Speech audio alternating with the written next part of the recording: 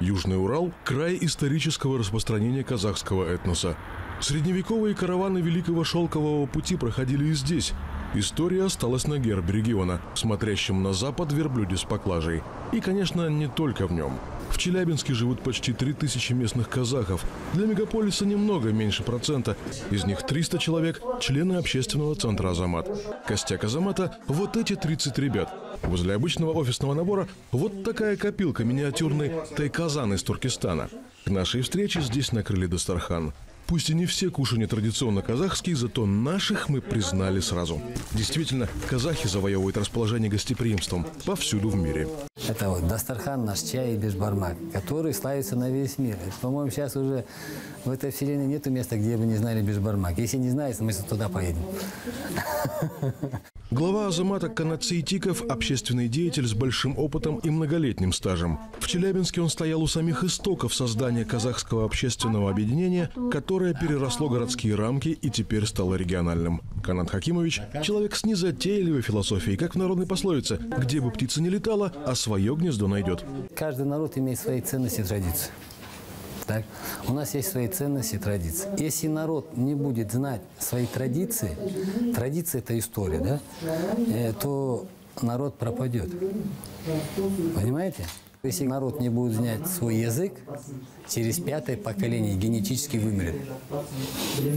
И когда ты это знаешь, и другие не знают, но не, невозможно спать спокойно. Многие из них пришли сюда без знания языка своей исторической родины. Молодежь вообще везде одинаковая. Вместе тусить веселее, круг знакомств шире, да и вроде как свои. Но вот многие студенты и молодые рабочие стали задумываться над самим смыслом слова «азамат». Что значит быть гражданином? Азамат – это гражданин там, государства, да? Но есть смысл другой в этом. Смысл, который мы даем, и когда да, это общество наше назвали Азамат, это был Азамат – это человек, да, достойный. И быть достойным, чтобы люди за тобой шли и верили, это очень большой труд. Они пришли сначала как молодые люди для развлечения, наверное, ну а теперь они сейчас как Азаматтар. Они Азаматы, потому что они действительно, каждый из них, это, знаете, наверное, тот алмаз, который становится бриллиантом.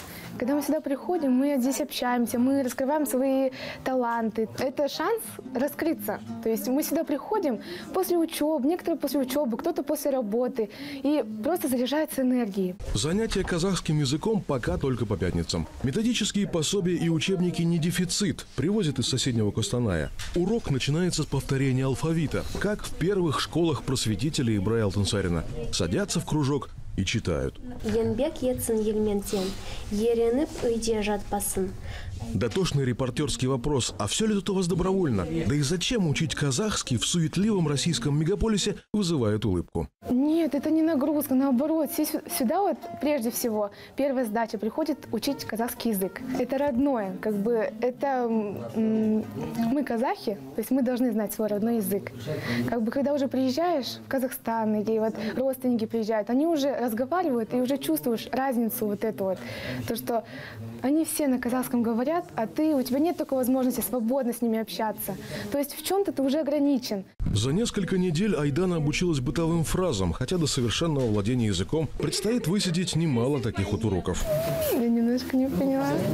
А вот репетиции самодеятельной театральной танцевальной студии проводятся здесь каждый день. В программе от блистательного вальса до дерзновенного танца Харажорга.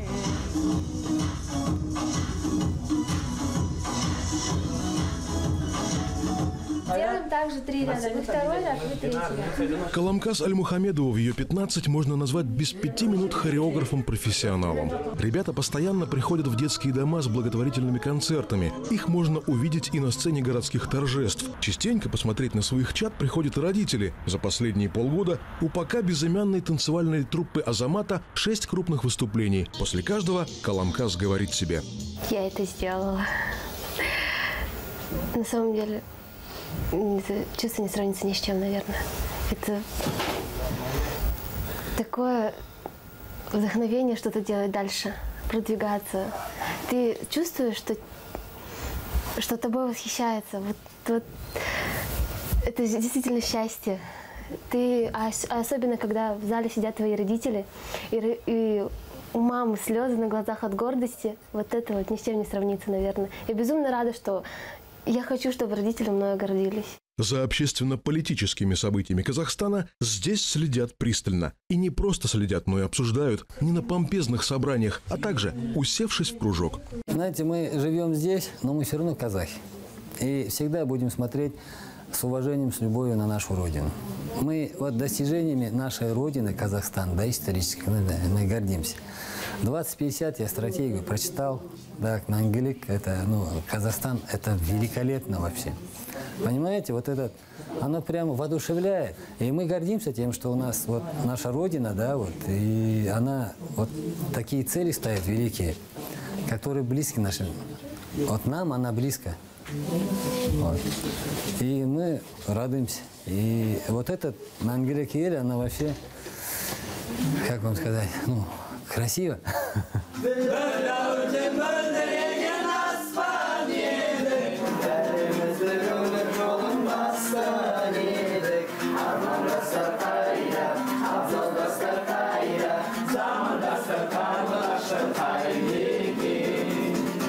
и же общение без развлечений на свежем воздухе. Благо возле здания центра есть где порезвиться. При обществе «Азамат» существует своя баскетбольная, волейбольная и футбольная команда. Ребята тренируются на спортивных площадках. Впрочем, каждое занятие клуба может закончиться не обязательно репетицией или уроком, а вот таким вот обычным, банальным ничего не деланием. Алжигитер!